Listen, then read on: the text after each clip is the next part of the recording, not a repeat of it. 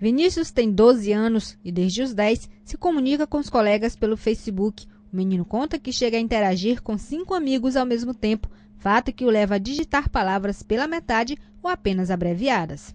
É mais ligeiro, mais fácil. Mesmo sabendo que pode prejudicar. Mesmo sabendo. Vinícius é apenas um no meio de milhões de pessoas que se utilizam das mesmas ferramentas para conversar com os amigos pela internet, cometendo diversos erros de ortografia e abreviações inusitadas.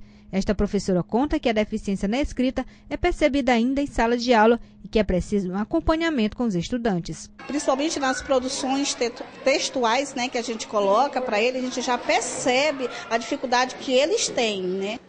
Muita gente usa a internet para se comunicar através das redes sociais e, na maioria das vezes, adquire vícios de linguagem, sem se preocupar com a norma culta da língua portuguesa.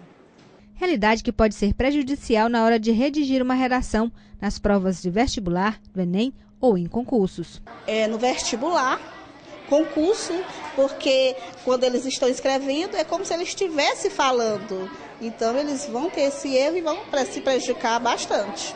Esta outra educadora ressalta alguns vícios de linguagem usados com mais frequência por estudantes. Por exemplo, beleza, BLZ, né? Também TBM e por aí vai.